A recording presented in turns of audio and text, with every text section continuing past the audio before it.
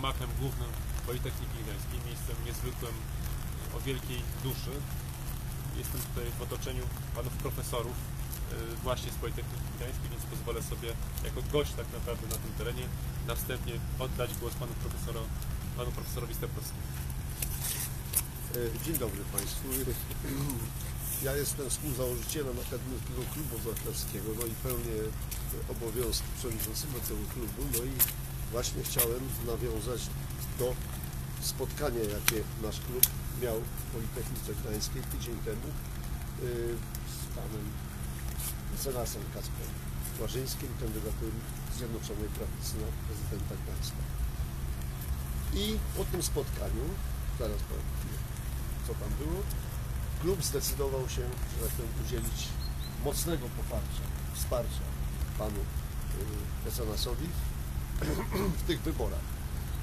Y, Kandydat, że tak można powiedzieć, zaprezentował y, nie tylko jako jedyny z wszystkich kandydatów na prezydenta bardzo ciekawy program współpracy y, samorządu ze środowiskiem akademickim, którego częścią jest nasz klub, ale również, tak powiem, szersze wymiary swojej działalności. Pod działalność obywatelską pan mecenas rozumie jako spełnianie paradygmatu służby obywatelskiej. To, to, to nam się bardzo podobało i wydaje się, że to powinno być wprowadzone w Gdańsku nie tylko. Nie, y, może tak samo ważną, może i ważniejszą jest bardzo patriotyczna postawa pana mecenasa. Wiemy, że współcześni włodarze Gdańska flirtują trochę z, z resentymentami niemieckimi, e, szczególnie z tego złego okresu, gdy Gdańsk był wolnym miastem. Tu na Politechnice mieliśmy wtedy relegowanie polskich, bicie polskich studentów i, tak powiem, nie podoba nam się polityka władz aktualnych. Pan mecenas powiedział, że zdecydowanie się temu przeciwstawi. Summa summarum, wystosowaliśmy taki apel poparcia e, przez nasz klub, gdzie podpisało się pod nim 64 członków. Połowa to są profesorowie i doktorzy habilitowani z trzech uczelni, Politechnikum Uniwersytetu Uniwersytetu Medycznego. Nawet y, byli rektorzy i byli prorektorzy i aktualni prorektorzy tych uczelni. To tyle chciałbym Państwu. Tak. Panie właśnie jest jeden z aktualnych panów rektorów, więc panie profesorze, Dziękuję bardzo. Ja chciałbym podkreślić y, to, że nowa ustawa wdrażana w tej chwili, tzw. ustawa Tawasero daje bardzo duże możliwości współpracy samorządu lokalnego, czyli i miejskiego, i wojewódzkiego z uczelniami. Będzie możliwe sfinansowanie wspólnych przedsięwzięć, to co do tej pory nie było możliwe. Jest to bardzo istotne, dlatego że obserwujemy taki ogólnoeuropejski trend y, tworzenia y, centrów y, naukowo-technologicznych we ścisłej współpracy uczelni, otoczenia gospodarczego, ale też właśnie samorządu lokalnego. To jest bardzo ważne, żeby wspólnie wypracowywać pewne kierunki rozwoju dyscyplin naukowych, dyscyplin gospodarczych, ekonomicznych kierunków, żeby koncentrować y, wysiłki. Tylko koncentracja wysiłków daje możliwość osiągnięcia y, ponadprzeciętnych y, rezultatów. I widzimy taką możliwość. Gdańsk, Trójmiasto w ogóle jest centrum y, bardzo znanym technologii IT.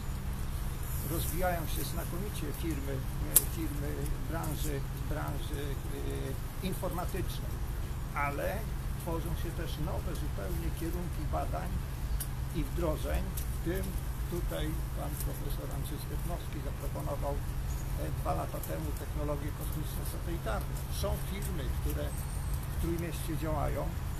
Na Politechnice został utworzony kierunek studiów technologii kosmicznej satelitarnej. Nowy. To jest, jesteśmy na samym początku.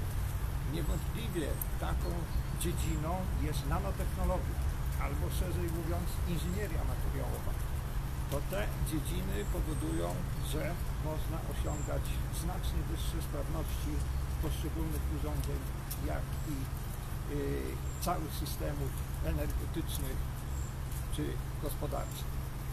Pan profesor Stepnowski wspomniał y, o pewnej tendencji y, politycznej, pewnym, pewnej atmosferze. Ja chciałbym powiedzieć, że y, absolutnie jesteśmy nastawieni na internacjonalizację, żeby nie powstało wrażenie, że chcielibyśmy się w jakikolwiek sposób iz- izolować. Absolutnie nie.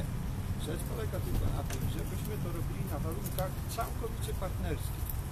Nie chcemy być już traktowani jako młodsi bracia przyjęci do wspólnoty europejskiej. My tam od zawsze jesteśmy, mamy swoje osiągnięcia naukowe, y, znamy swoją wartość. W związku z tym chodzi o to, że internacjonalizacja absolutnie tak, zarówno poprzez przyjazdy młodych ludzi ze wszystkich krajów świata, jesteśmy na to absolutnie otwarci, ale tak jak powiedziałem, na zasadach partnerskich. Dziękuję bardzo. Szanowni Państwo, ja z tego poparcia y, bardzo się cieszę, bo nic nie daje tak, mówiąc wprost, wiarygodności, jak osoby, które swoim dorobkiem, swoim autorytetem są gotowe poprzeć moją y, kandydaturę. To świadczy o tym, że to nie tylko kwestie polityczne, ale również osoby, które pokazują swoim całym życiorysem znajomość e, lokalnych problemów i też dążeń, w jakich kierunkach Gdańsk powinien, właśnie w jakich kierunkach Gdańsk powinien się rozwijać. E, To poparcie jest dla mnie bardzo ważne, bardzo za nie dziękuję. Tutaj profesor Czyśliński wspomniał o tym, że należy internacjonalizować Uniwersytety w Gdańsku. Ja również jestem tego zdania, bo uważam, że Gdańsk stać na dużo więcej. Już w tej chwili robi w tym kierunku bardzo wiele. To, o czym, o czym też wczoraj wspominaliśmy, to w dalszym ciągu w Gdańsku jest y, trochę za mało wyciągnięta ta dłoń z Urzędu Miasta w kierunku również promocji nauki, która powstaje tutaj w Gdańsku, ale również ustawa nowa daje konkretne finansowe możliwości wspierania przez samorząd strategicznych dla, Gdańsk, dla Gdańska kierunków studiów, y, strategicznych z punktu widzenia również zakładów pracy w Gdańsku, dużej mierze opartych właśnie o te technologie informatyczne, ale związane również z gospodarką morską. I w tym zakresie miasto Gdańsk na pewno będzie chciało bardzo blisko współpracować również z Politechniką Gdańską, ale również z Instytutem Maszyn Przepływowych e, w zakresie wspierania tych kierunków takich jak chociażby budownictwo okrętów, aby te niezwykle istotne z punktu widzenia również gdańskich pracodawców, którzy, dla których największą bolęczką, Szanowni Państwo, jest tak naprawdę brak fachowych rąk do pracy, aby te luki uzupełniać i aby w tym kierunku gdańskiemu w dalszym ciągu e, rozwijać. Więc jeszcze raz bardzo dziękuję Panie Profesorze za to e, poparcie.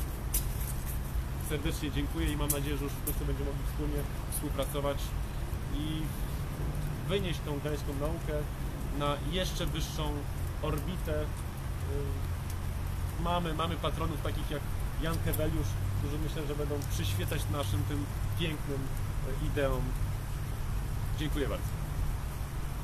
Tutaj jest ta lista, profesorze, tak? Bardzo proszę. A tutaj. Tak? Tak, tak.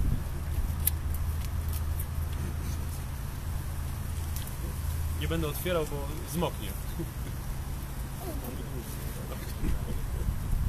Czyli to jest Akademicki Klub Obywatelski. Pan, Tak ob, obaj reprezentujecie, tak? Tak, Tak, tak, też tak. jestem Pan rektor również jest członkiem. członkiem od samego początku akademickiego klubu. Można mieć pytanie takie poza tematyką je, jeżeli konferencji? poza tematyką, to jak najbardziej, ale już proponuję nie angażować cennego czasu panów profesorów i, i, i wypowiem się Dobra, ale po konferencji. Mhm. Szanowni Państwo, jeżeli nie ma pytań, to ja serdecznie dziękuję. Dziękujemy.